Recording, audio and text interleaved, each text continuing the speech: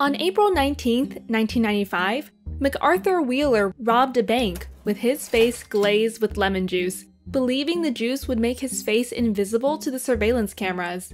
He thought so because lemon juice works as invisible ink on a piece of paper. Police broadcasted the security camera footage on the local 11 o'clock news, and just after midnight, Arthur was arrested. Incredulously, he said, But I wore the juice! Baffled by this reasoning, David Dunning and Justin Kruger, two psychologists, studied Mr. Wheeler and others like him. They came to the conclusion that people with low ability at a task tend to, paradoxically, overestimate themselves. This cognitive bias is known as the Dunning Kruger effect. Let's look at this graphically, plotting one's confidence in your ability against one's actual knowledge in a field. As we learn something new, we are often highly confident because we know so little that as soon as we know a tiny bit, we think we know it all.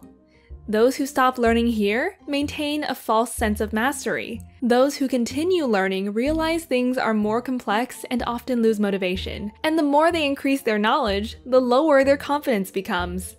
Many stop at this stage, thinking they've learned nothing. Only if we keep going can we regain confidence while getting better. And at the end, we will be full of knowledge and almost as confident in our ability as right after we started. In other words, if a simpleton, a good student, and a wise teacher were to have a public debate, this is how things could go down. The simpleton knows just a little bit, but is very confident and voices his opinions loud and without hesitations.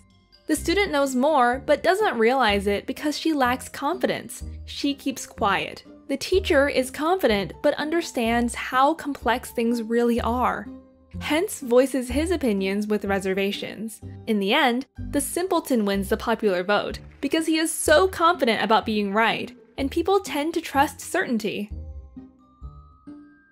Research from North America, Europe, and Japan suggests that culture plays a big role. From assessments of one's own ability to drive, we know that 93% of Americans think they are better drivers than average, while only 69% of Swedish think so. In Japan, on the other hand, people in general tend to underestimate their abilities as a strategy to see their underachievement as an opportunity to improve. Setting out on a journey of learning can be a daunting experience. What starts off as a leisurely stroll soon changes into an intense battle of willpower between you and an intimidating amount of knowledge. Do not give up. The longer you fight, the more power you gain, up until the point you win. And in the end, if you persevere, you may be elevated to the ranks of Socrates, who over 2,000 years ago left us with a quote of wisdom I know that I am intelligent, because I know that I know nothing.